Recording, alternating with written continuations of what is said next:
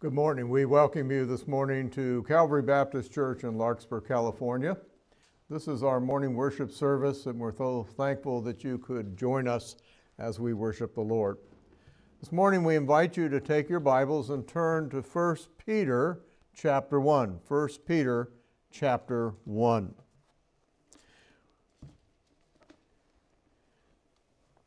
We're going to begin looking at uh, verses 9 through 12.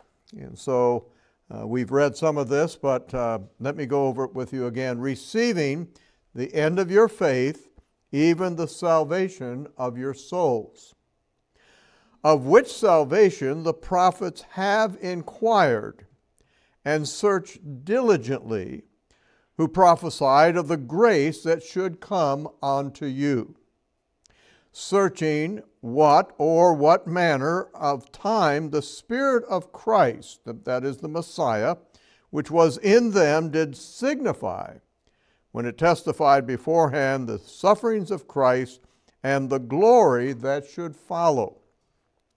Unto whom it was revealed that not unto themselves, but unto us they did minister the things which are now reported unto you by them that have preached the gospel unto you with the Holy Ghost sent down from heaven, which things the angel desire to look into. Peter brings the first part of this uh, section of this uh, first chapter uh, with uh, this word receiving the end of your faith, even the salvation of your souls. The great message of the Word of God is salvation. It is messages throughout the Old and New Testament. The Old Testament believers were saved the same way that you and I are saved. They were saved by faith. It was God's grace. They're not saved by works, they were saved by faith. Now, verses 10 through 12, uh, Peter described the greatness of our salvation, but kind of in an unusual way. Most of the time, when we are studying the scriptures and we're looking at our salvation, we see it from our point of view. Uh, what, what is God doing for us? But it's interesting in this one, he, he actually takes it from the perspective of the Old Testament prophets. I don't know if maybe at times you have, as you've been reading the scriptures, you're maybe in the New Testament, and um, you will, uh, maybe the, the, when Jesus was talking to the uh, disciples on the way to Emmaus.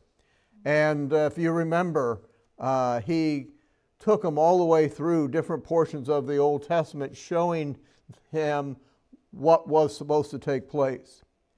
Uh, and sometimes when we're in the New Testament, we say, Well, I've read the Old Testament and I don't see all these things. I don't always see uh, the salvation and those things.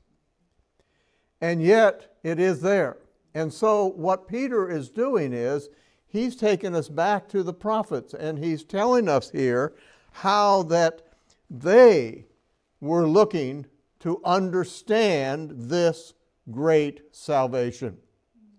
And he mentions here the fact that um, the prophets uh, were looking for it, uh, the Holy Spirit, uh, the New Testament apostles, and the angels. All of those he's going to cover in these verses. The prophets studied the Holy Spirit inspired, the apostles preached it, and the angels long to understand it. Remember, the angels are not saved. They were created the way they were. Those who fell, they were lost.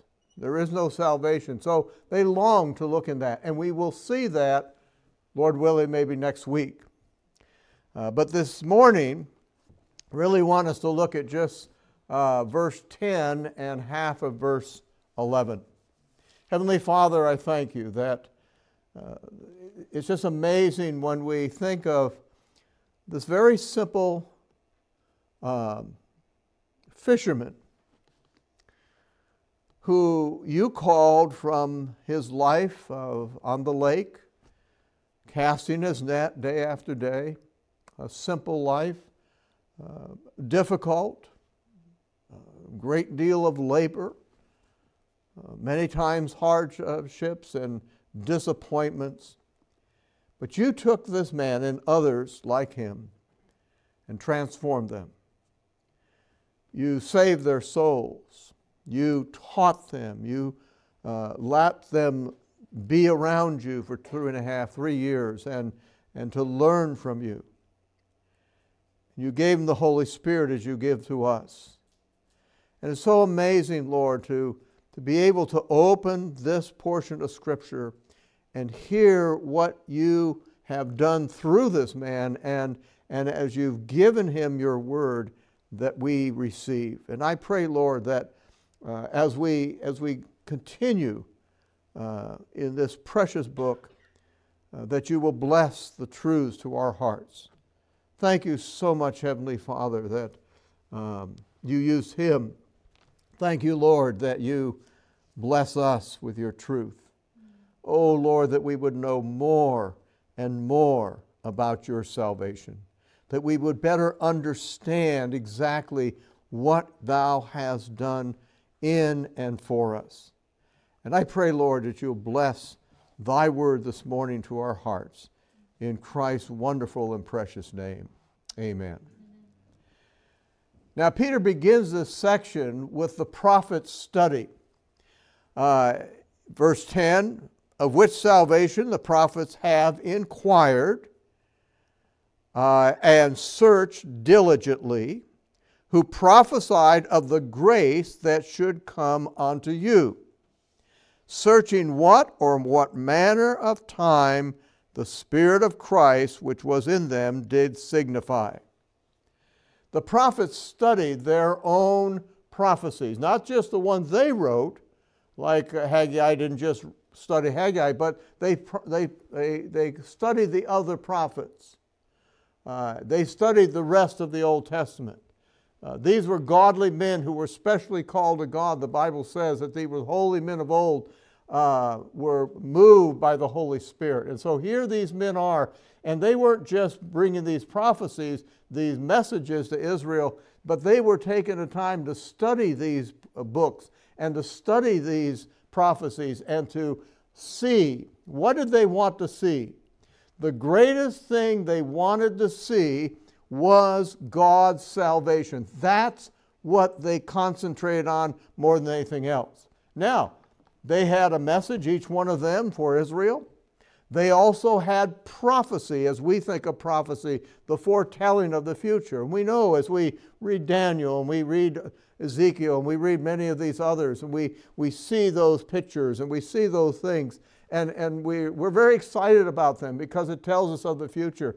But their focus was on salvation. That's what Peter is telling us here. God's wonderful grace to sinners is the greatest theme in the universe. It is the greatest theme in the history of the world.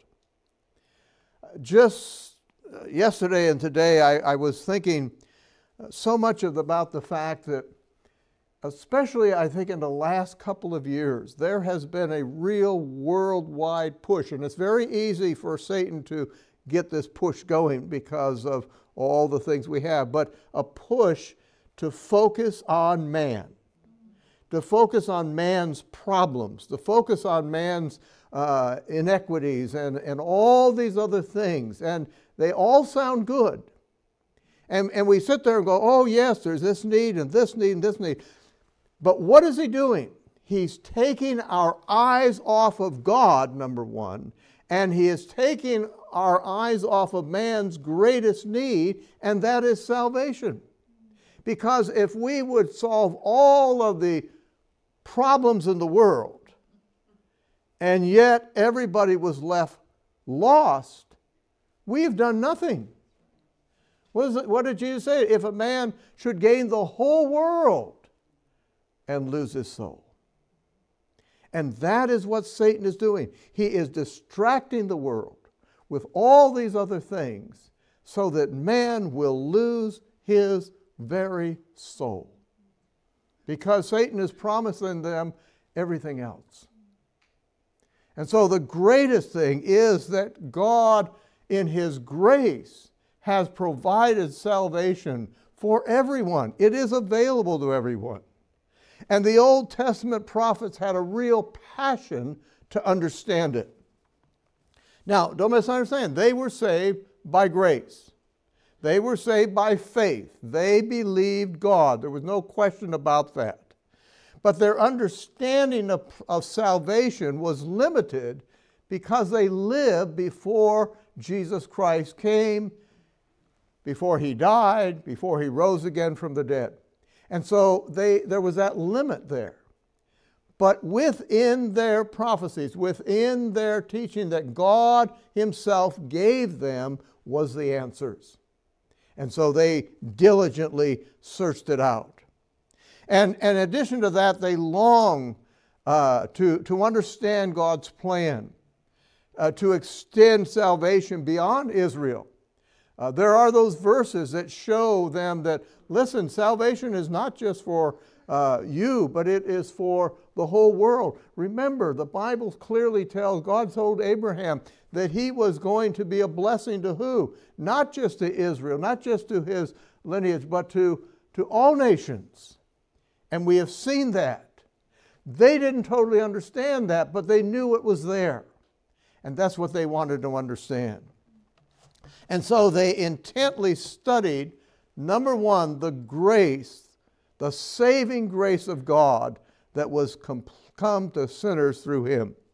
Verse 10 Of which salvation the prophets have inquired and searched diligently, who prophesied of the grace that should come unto you.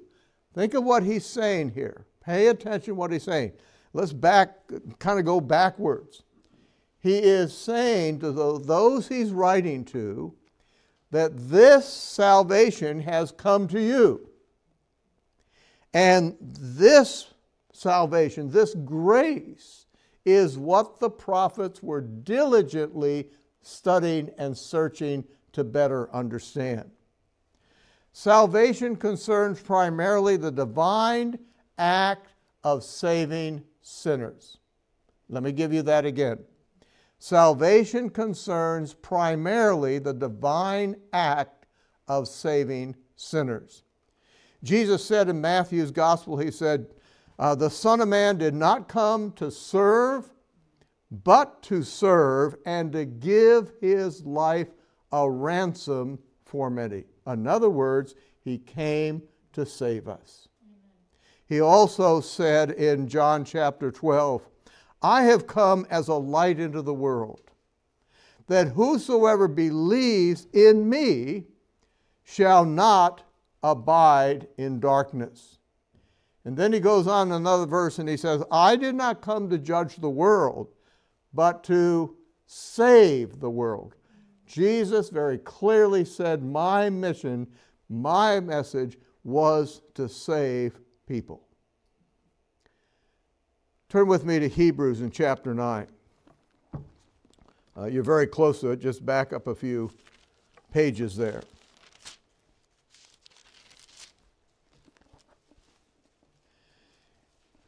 When you get to Hebrews 9, let's go down to verse 24.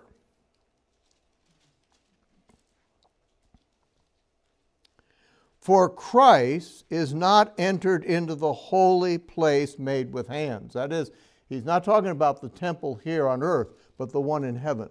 All right? Which are the figure of the true, but into heaven itself, now to appear in the presence of God for us. When Jesus went right back to heaven, he went there to do what? to appear there before God for us. Not yet that he should offer himself often. In other words, he didn't come to die over and over and over and over and over. as the high priest entered into the holy place every year with blood of others. The holy the priests had to go in, they had to keep on making that sacrifice. For then must he have often suffered the, since the foundation of the world. In other words, if he did it the way the priest did, he would have had to be sacrificed, he would have had to be crucified from the very beginning, from Adam and Eve, and on and on and on and on and on and on. But now, once in the end of the world hath he appeared to put away sin by the sacrifice of himself. When he died on the cross, what did he do with your sin? What did he do with my sin? What did he do with it? He put it away. It's gone.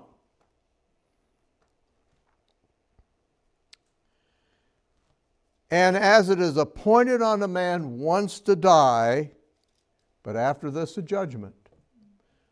There's no second chance afterwards. People think, oh well, when I die, and if I if if I made a mistake, I get to correct it. It's too late. He said, it is appointed on, on man once to die.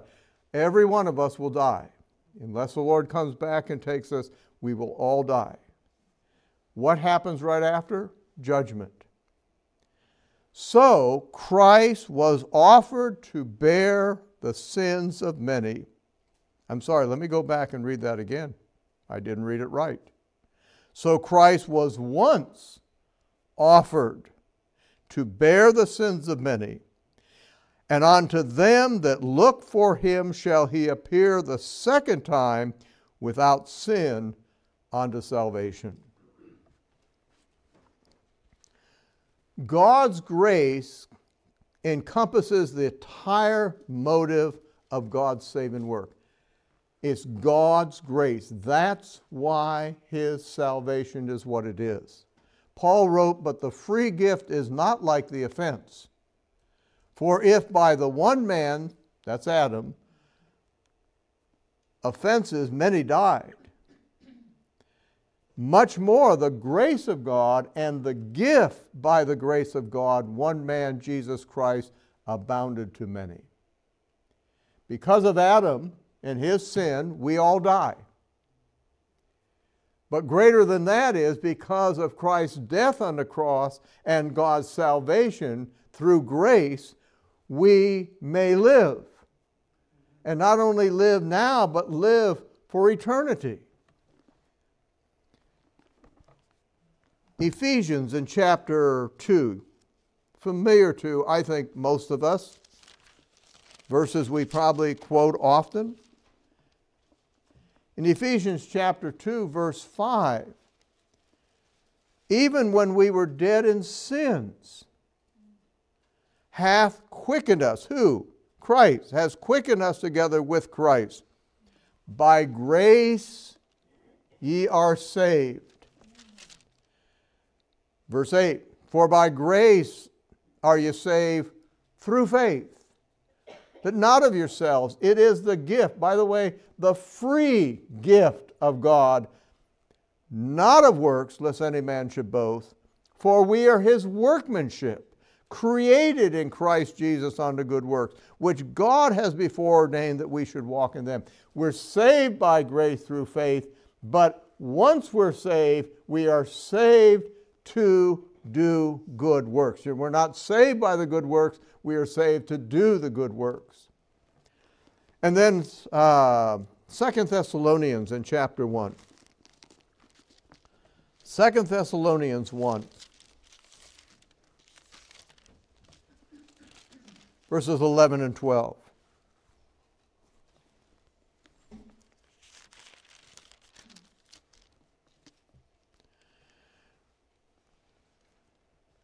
Wherefore also we pray always for you, that our God would count you worthy of this calling, and fulfill all the good pleasure of his goodness and the work of faith with power, that the name of our Lord Jesus Christ might be glorified in you, and ye in him, according to the grace of our God and the Lord Jesus Christ. Notice God's grace. And so the prophets sought to understand God's grace and mercy in Christ, His forgiveness, God's goodness, God's unmerited favor, God's blessing that is lavished on undeserving sinners. That is what grace is. God doing for us what we do not deserve. God's grace speaks of an unearned favor and blessing toward us. God's grace was exhibited, by the way, in the Old Testament in many different ways. Um, for instance, uh, we're told in uh, Genesis, Joseph said to his brother, uh, Benjamin, God be gracious to you, my son. He understood that God was a gracious God, and he prayed that God would be gracious to him. Um, in, in Exodus, uh, God uh, told the Jewish people through Moses, I will hear him, for I am a gracious God. Right there, speaking to Israel, speaking to the people, I want you to know, he said, I am a gracious God. He came to save them. By the way, remember that God showed grace to Noah. Noah was in this wicked generation. They were so evil and wicked. And yet the Bible tells us Noah found grace in the eyes of the Lord. Not because of something in Noah, but because something in God that was his grace. Grace found Abraham in Ur of the Chaldees. He was a pagan. He was an unsaved man. He didn't know God. We don't know what he worshiped. We don't even know if he worshiped. But God's grace found him and directed him to a land, but more than just a land, but he directed him to himself. He brought him by grace to himself. And the Bible says that Abraham believed God and it was counted unto him for righteousness. It's God's grace that sent a kinsman redeemer to rescue Israel from the Egyptians. God sent Moses, one of their own. Moses, who had to spend 80 years preparing for his job. Imagine that. I think of my grandson as he's you know, about to graduate next year and probably looking at it and said, Boy, this is four arduous, laboring years. Imagine 80 years. Imagine 40 of those years weren't very good. The next 40 years were pretty tough. They were on the backside of the desert, all so he could do the job. But it was God's grace it was God's grace who took this man, who took this man, by the way, who was a murderer. A man who had been trained in all of the evils of, of, of the religion, of the thinking, and the, and the wisdom of, of Egypt. And by his grace, he called him to come and lead the people. And then they remember Ruth. Ruth was a Moabite. She was not a Jewish lady.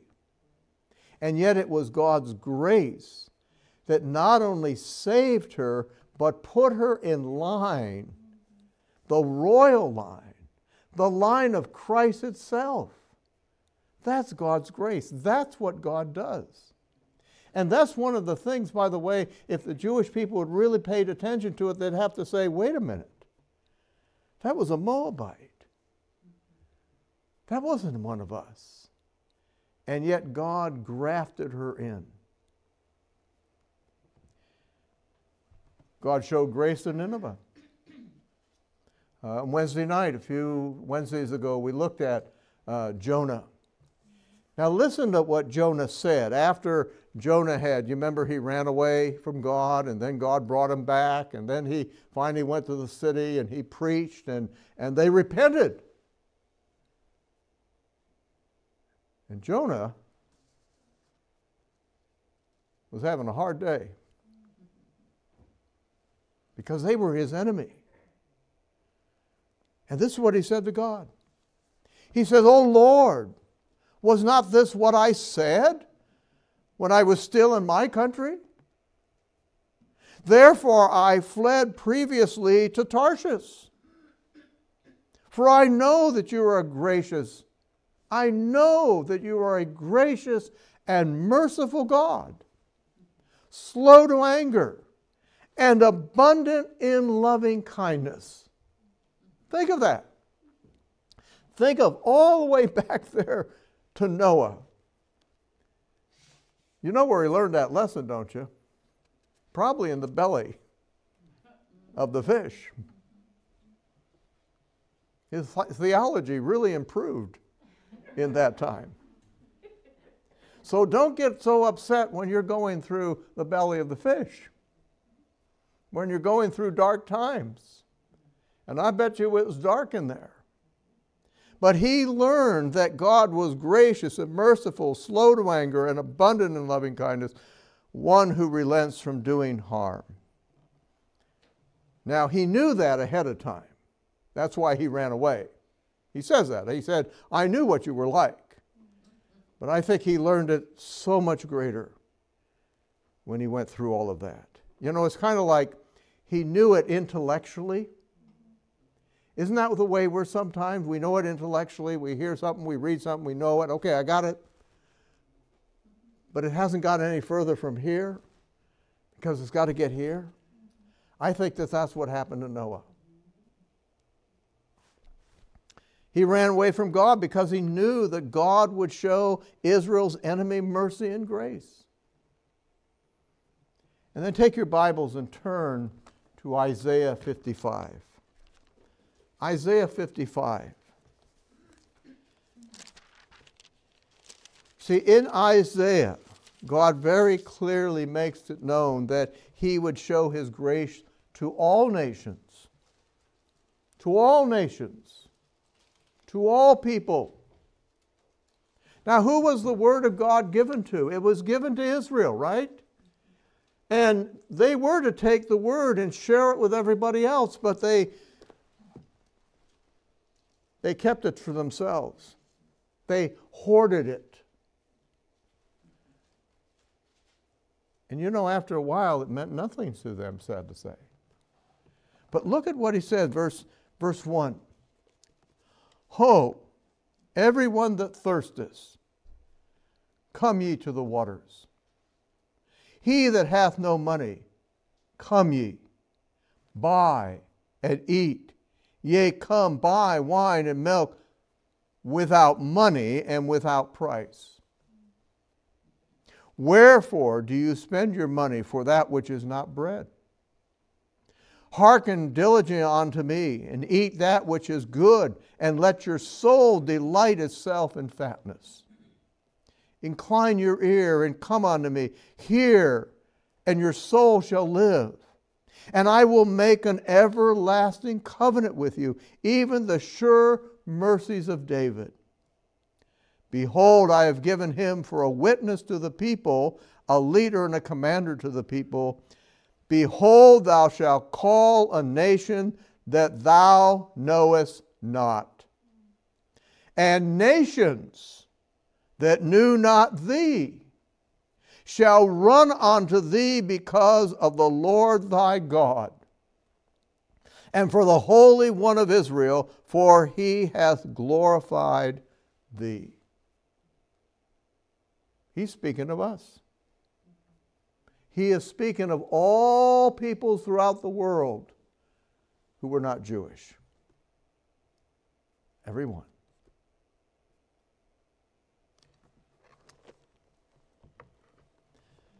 This was God's invitation to the nations of the world, to the people of the world, to partake of his salvation. And so, as, as Peter says here, of which salvation the prophets have inquired and searched diligently, of the grace that should come unto you searching what or what manner of time the Spirit of Christ, which was in them, did signify. Now remember, The name Christ means the Messiah. So, what he is saying here in verse 11 is they also were diligently wanting to know more about the Messiah. Many things about the Messiah we find in the Old Testament. And I want you to write these two down, and I'd like you to this afternoon take a little time and read these two portions. Number one, read Psalm 22. Psalm 22 speaks about Christ's uh, crucifixion. And then write down Isaiah 53. Because Isaiah 53 speaks of Christ's suffering. You put those two together. What an incredible picture it is. Uh, it's almost a picture that at times might bring tears to your eyes if you just if you just think about and you meditate upon just what Jesus Christ went through. Second of all, not only that he would suffer, but that he would triumph. David wrote in Psalm 16, he says, Thou wilt not abandon my soul to Sheol neither wilt thou allow thy Holy One to undergo decay. Now, you might say the first part of that verse, well, that could be talking about David himself. He's saying, you know, you're not going to allow that to happen to me. But the second part doesn't have to do with him at all. He's not the Holy One. He's speaking of the Messiah. He's speaking of him and saying, listen, this is the promise. This is the. I'm, I'm sure he probably didn't understand what he's saying, but he's saying that this is the promise from the Father that you will not abandon my soul in death. And neither will you allow your Holy One to undergo decay. Why? Because he was going to raise him from the dead. David also wrote that the Lord said, I have installed my king upon Zion, my holy mountain. He goes on and he says, Ask of me, and I will surely give the nations of thine inheritance, and the ends of the earth as thy possessions. Thou shalt break them with a rod of iron. Isaiah wrote, For unto us a child is born, unto us a son is given, and the government shall be upon his shoulder, and his name shall be called Wonderful Counselor, the Mighty God the everlasting Father, the Prince of Peace. And the Messiah would bring salvation. There's where Israel really lost it. They were looking at a Messiah who would deliver them from their enemies. They didn't think sin was their enemy. They said, We're, we're children of Abraham. You know, even today, there are people who, who think because of their lineage, they're okay. I don't know how many people have told me over the years, but my mother went to church. Or, or somebody told me the other day, my grandfather was a preacher. So, what difference does that make? And that's, that's people's mentality. I'm okay. And that was Israel's mentality. And, and you notice through the gospel, all the way through there, that they're not looking for Jesus to come and save them from their sin. They're looking for Jesus to, re, to, to get rid of the Romans. And I find it interesting that when he doesn't fulfill their vision, their dream, they turn him over to the Romans. Isn't that interesting? You remember when Jesus in his ministry, he had been traveling around and he didn't go often to his hometown of Nazareth. But when he came there one day, he went as his practice was, he went to the Sabbath, on the Sabbath to the synagogue and he stood up to read. That's the way it was. Uh, they recognized him as a teacher. They recognized him as uh, some kind of a spiritual leader, and so when he stood up, then one of the priests uh, took the scroll and brought it to him. And the scroll that he brought to him that day was Isaiah. Jesus unrolled that scroll until he got to what we call today chapter 61. They didn't have any chapters. And this is what he read The Spirit of the Lord is upon me, because he has anointed me to preach the gospel to the poor. He has sent me to proclaim release to the captive and recovery of sight to the blind, to set free those who are downtrodden, to proclaim the favorable year of the Lord. Isaiah 61, verses 1 and 2. And then we are told that he closed the scroll. And in Luke chapter 4, Jesus said this Today the scripture has been fulfilled in your hearing.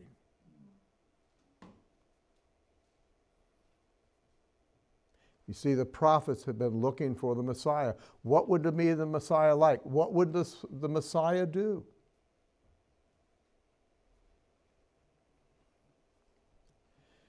Now, the apostles quoted from the Old Testament. And I think one of the best examples is found in Romans and Paul's writing there to the Romans. So turn with me to Romans chapter 9. Romans chapter 9.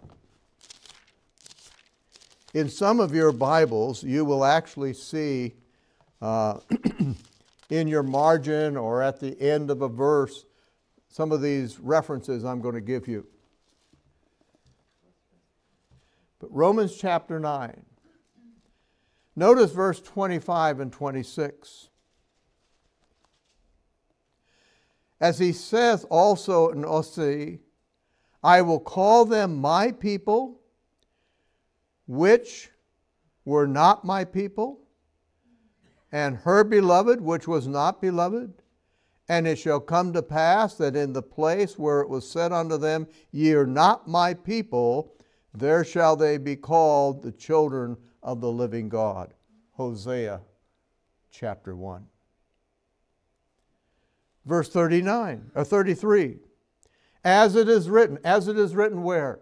in the Old Testament. As it is written, because they sought it not by, I'm sorry, as it is written, Behold, I lay in Zion a stumbling stone and a rock of offense. That's Jesus Christ. And whosoever believeth on him shall not be ashamed. Isaiah 28.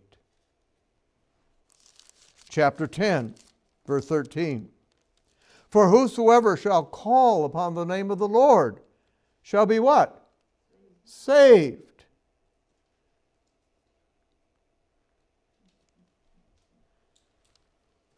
Joel chapter 2 and verse 32.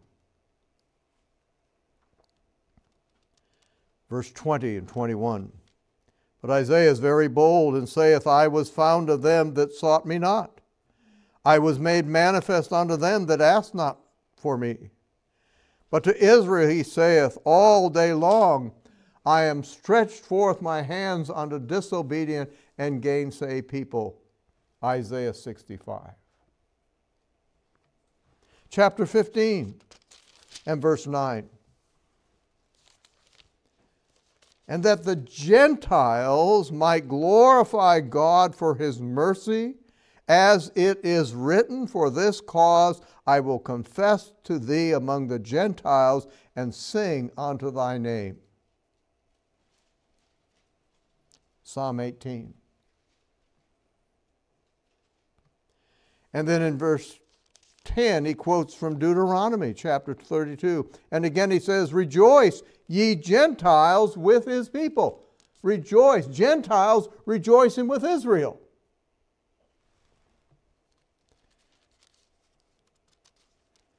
And then verse 12.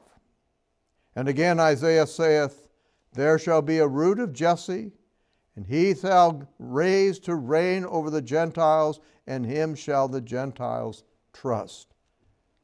Isaiah chapter 11. And finally, verse 21 here in chapter 15 of Romans, but as it is written, to whom he was not spoken of, they shall see, and they that have not heard shall understand. Isaiah chapter 52. Paul and the other apostles clearly indicated that the Old Testament prophecies were about the Messiah and that that Messiah was fulfilled in the Lord Jesus Christ. He was that promised Messiah. There are some, I believe, over 300 prophecies in the Old Testament that Jesus Christ fulfilled. There are probably others that we do not know yet because he is still coming back.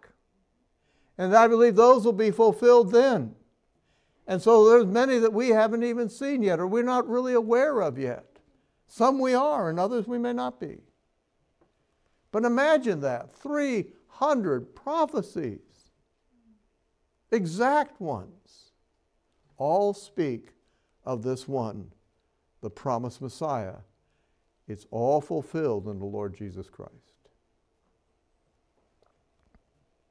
And so, Peter will say in verse 10 the prophets have inquired and searched diligently, who prophesied of the grace that should come on to you. And that not only applied to Peter's audience, but it applies to all of us.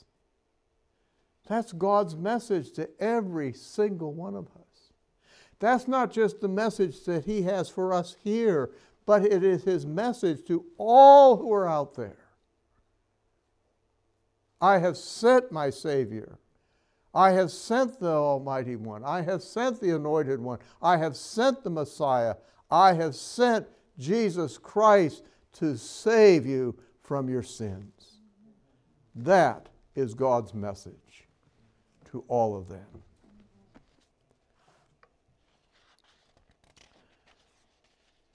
To any here or to any who might be listening, God has a plan. God has a way of salvation. And the first thing that God wants us to do is understand and realize that He does love us and that He wants us to have eternal life. He wants us to have our sins forgiven. That's why He said in John 3:16, "For God so loved the world that He gave His only begotten Son, that whosoever believeth in Him should not perish, but have eternal life." But the second thing he wants us to realize is that we are sinners and that we are separated from God because of our sin. The Bible says there is none righteous, no, not one. We have all fall short of the glory of God. Uh, the Bible also says righteousness and judgment are the habitation of his throne. In other words, sin cannot come into his presence. Isaiah said in 59, he said, But your iniquities have separated you between you and your God, and your sins have hid his face from you. And the third step is to realize that only in Jesus Christ can forgiveness of sins and salvation be ours. We are not saved through baptism. We are not saved through church membership. We are not saved through any of those things, but only through Christ. Jesus said, I am the way, the truth, and the life. No one comes unto the Father but by me. We cannot come into God's presence except through Jesus Christ. There is no other mediator. There is no other one. The other day I was watching a documentary uh, and beautiful, beautiful country, uh, beautiful places, and They took us to this town, and I thought this was really interesting because this is a very secular uh, program.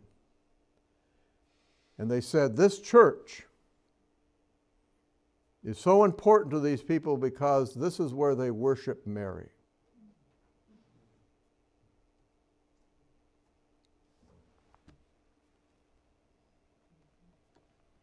They often said, No, we don't worship Mary.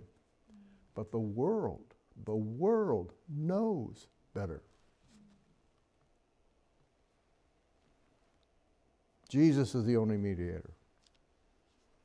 The Bible says, But God commendeth or demonstrated his love towards us in that while we were yet sinners, Christ died for us. Now you say, Well, I, I know all these things. I've heard these things. In fact, I, I believe these things. But it's not enough to just believe in our heads. We must act upon that belief. We must act upon those truths. We must put our faith and trust in the Lord Jesus Christ. He himself said, Repent and believe. And the fourth thing is we have to receive Him personally as our Lord and Savior. The Bible says, As many as received Him, to them gave He the power or the right to become the children of God. We must ask to receive Him and His gift of eternal salvation. Jesus said, Behold, I stand at the door and knock. If any man hear my voice, I will open the door and come into him. If you do not know Christ as your Savior, let me just say to you very clearly Jesus is standing outside of your life. He is knocking on the door of your heart, and He wants to come in. But you must open the door and allow Him to come in. He will not force Himself in on you. Will you open the door to Christ? Will you put your faith and trust in Him? and Him alone as your Lord and Savior. Our Heavenly Father, we thank you that we're not left in the dark to know how we can come to know Christ as our Savior. We thank you, Heavenly Father, that even in the Old Testament, the prophets diligently, studiously searched the Word of God so that they might see thy saving grace and might understand thy salvation. And then to understand and to know of this Messiah, this promised one that you would send to save their sins, to save their souls. And Heavenly Father, we thank you that nothing has changed, that Jesus Christ has come, Jesus Christ has died on the cross Jesus Christ has rose bodily from the grave. And now, and now he sits at thy right hand. And the invitation is still the same. Come unto me, all ye who are heavy laden, and I will give you rest. O Lord, we pray for those who know not Christ. May they this day turn to Jesus and find everlasting life in them. We thank you, Heavenly Father, that those of us who know the Lord, that we can rejoice in this so great salvation. And we praise you and thank you in Jesus' wonderful name. Amen.